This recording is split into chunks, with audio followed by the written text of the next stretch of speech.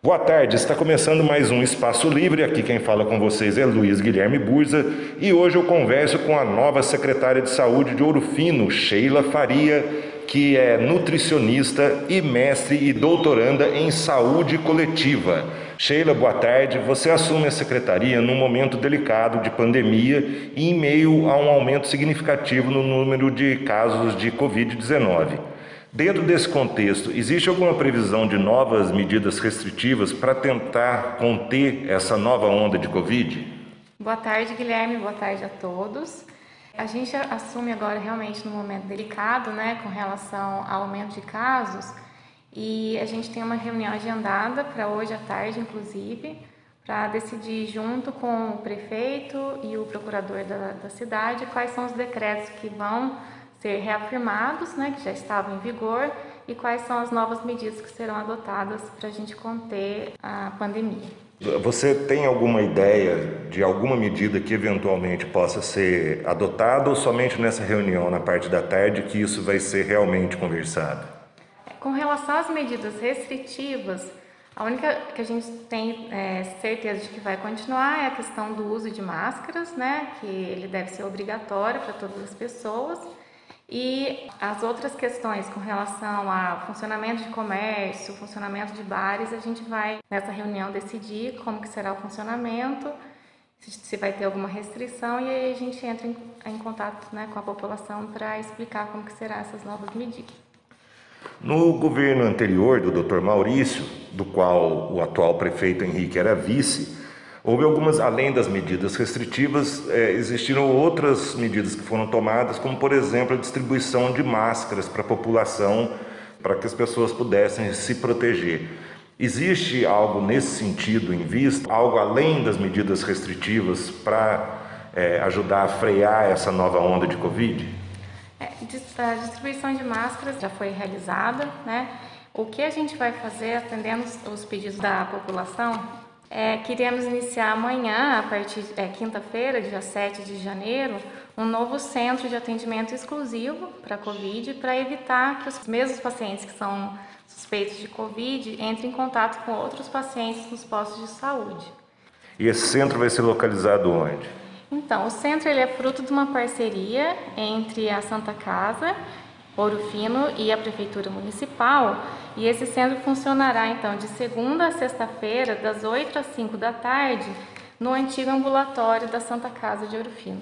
Sheila, alguns governos municipais é, declararam estarem tentando adquirir vacinas por conta própria, independente do governo federal ou do governo estadual, visando eventualmente imunizar a população daquele município. A gente sabe que é um processo difícil, a vacina não é barata e o acesso a ela também não é fácil, né, conseguir adquirir essa vacina.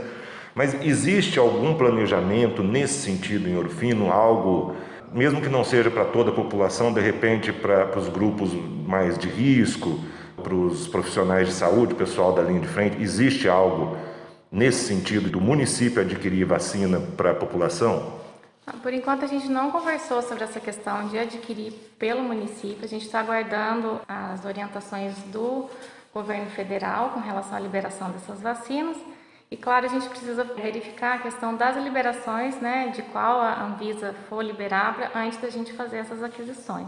Bom, o assunto do momento é a Covid, né? Mas certamente seu trabalho não vai ficar restrito a essa doença. A área da saúde é bem mais ampla temos muitos outros problemas aí, muitas outras coisas para serem tratadas.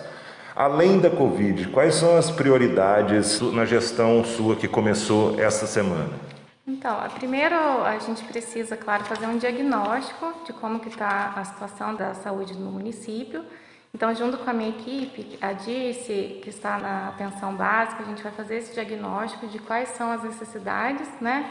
Do município para então traçar um plano de quais serão as prioridades. Um dos problemas que a gente observa em Ouro Fino é, é em relação à saúde mental. Em Ouro Fino não temos uma unidade focada neste problema. Né? Em outras cidades você tem os CAPs, algumas, algumas coisas nesse sentido. Mas aqui em Ouro Fino a gente observa pessoas que demandam um tipo de atendimento, sobretudo aí com relação ao abuso de álcool e drogas, mas também outros transtornos mentais. Existe algum plano, ainda que a longo prazo, para implementar algo que dê atenção a estas pessoas, aos problemas de saúde mental? Então, hoje a saúde mental ela é, é realizada no posto lá no Pontilhão, né, junto com o Rogério e o Mauro, psiquiatra. E o Rogério, a gente tem assim uma a iniciativa de talvez montar algum serviço especializado né, em saúde mental no município. É claro que primeiro a gente precisa fazer esse diagnóstico e ver se o município é, comporta né, o tipo de serviço que a gente está pensando em implementar.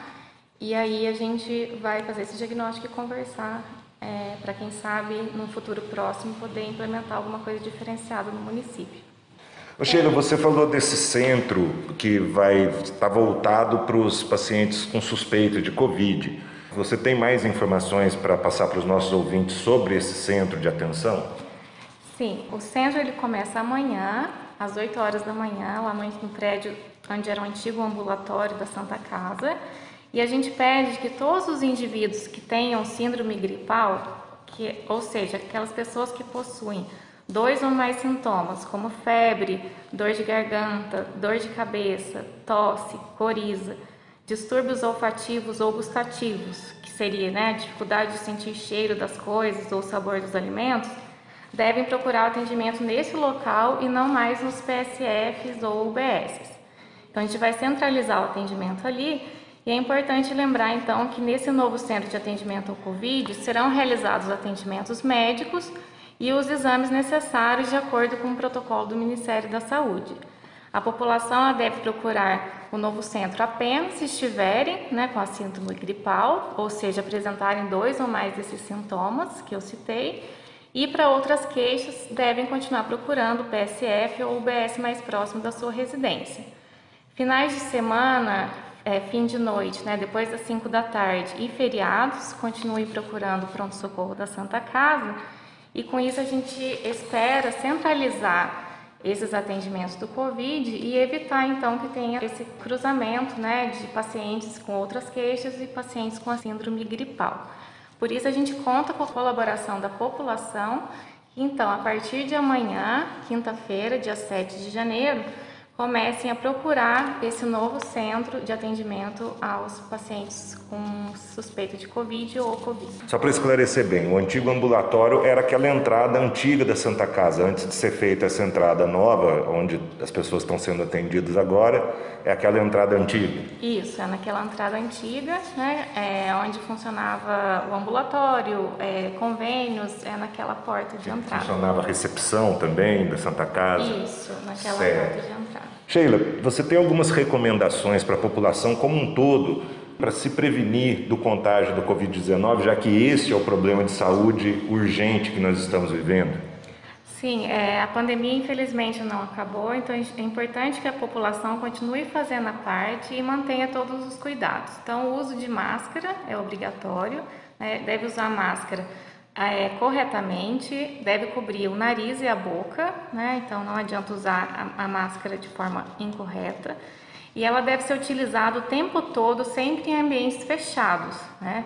E em ambientes abertos, se você não consegue fazer o distanciamento de até um metro e meio da pessoa. Tem até um epidemiologista de Nova York que ele deu um exemplo que eu acho que fica bem fácil da gente entender. Se a gente estiver num ambiente fora, né, e a gente tem uma vela de aniversário na mão, se a pessoa, a outra pessoa, ela é capaz de soprar e apagar a vela, a gente não está numa distância segura, né, dessa outra pessoa, então a gente deve usar sempre a máscara. Então, por exemplo, se você for fazer uma atividade ao ar livre e você sabe, consegue manter esse distanciamento, tudo bem ficar sem a máscara, mas se você achar que a pessoa é capaz de soprar a vela na sua mão, use sempre a máscara. Lembrar de lavar a mão com frequência, né? Então, quantas mais vezes a gente puder é, lavar a mão é melhor, várias vezes ao dia, com água e sabão. E quando a gente não pode lavar as mãos, a gente deve usar o álcool em gel, 70%.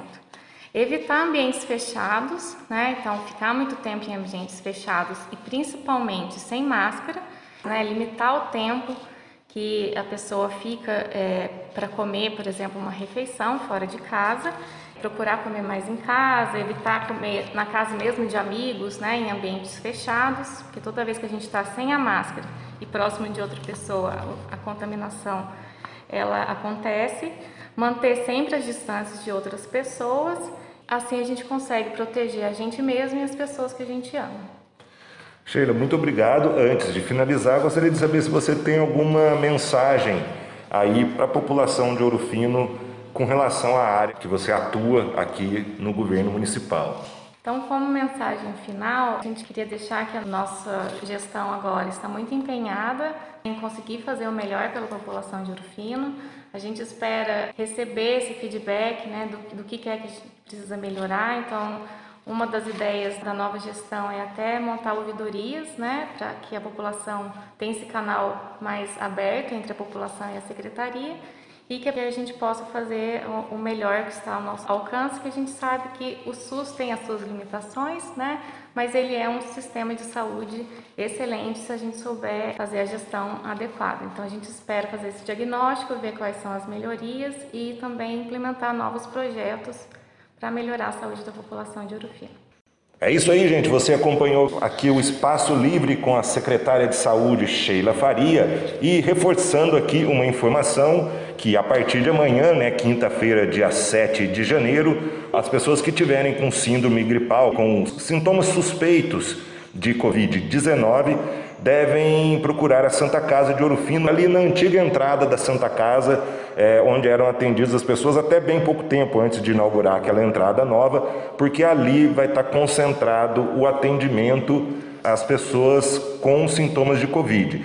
E o horário lá de atendimento é das 8 da manhã às 5 da tarde, de segunda a sexta-feira. Em outros horários e nos fins de semana, podem procurar os lugares onde já eram procurados antes dessa nova medida.